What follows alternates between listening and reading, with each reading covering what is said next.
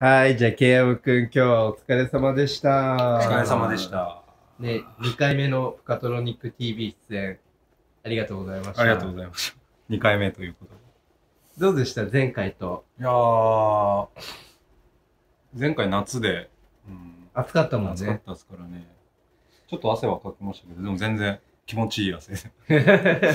気持ちよくできました。あ、よかったです、よかったです。ね、まあ、あの、なんか、緊急事態宣言延長ですけれども、あー、あのらしいですね。はい、なんかパーティーとか、まあなんか告知、もし先のがあればお知らせしてもらって、で、あと他にもなんか活動があったら、よかったら、ですね。シェアしてください。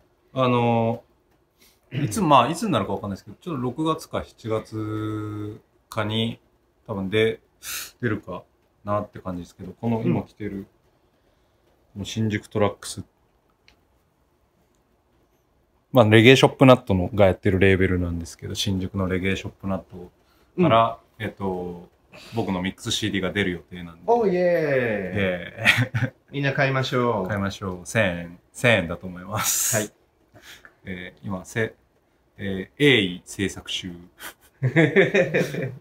頑張ってます。はい。イエイイエイ。よろしくお願いします。パーティーは、まあ、6月何も宣変な宣言とか規制がなければ、コアラで僕たちのやってるパーティー、レメディっていうパーティーをやりたいと思ってますので、そちらもチェックお願いします。まあ、えっと、日程は6月27日曜日の17時からやれたらいいなと思います。はい。じゃあ、今日は2度目の出演でしたが、本当にありがとうございました。あありがとうございました。はい。じゃあ、またよろしくお願いします。お疲れ様でお疲れした。様でした。